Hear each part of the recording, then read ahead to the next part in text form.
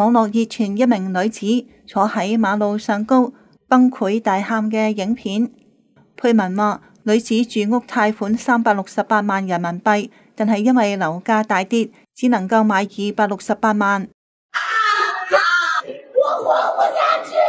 近日有关天津母亲一个楼盘由原价一百六十万减到三十九万嘅话题登上热搜，文章提到。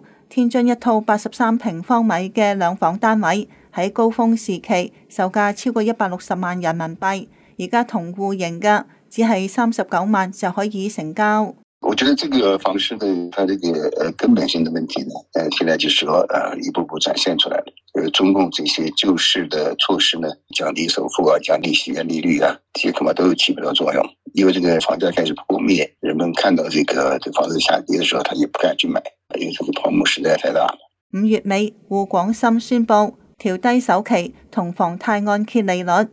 近日北京都跟进咗呢一项政策，成为中国最后一个。下调房贷按揭利率同首期比例嘅一线城市，中共权贵割韭菜，从这个老百姓身上掠夺财富，这么一个一个体系。咁样，那么可以通过股市、德过房市，通过这些那些医疗、教育的那些各样的成本的上升，让这老百姓背上沉重的财务负担。而这个中国这个世界工厂的地位消失，然后呢，这个制造业外流、内需不振，那这个经济只能走下坡下坡路。因为这个下坡路将来还会持续相当长一段时间。所以在这种情况下，这个房地产业它这个首当其冲。与此同时，近日江苏同安徽等多地推出咗鼓励农民上交宅基地入城买楼嘅措施。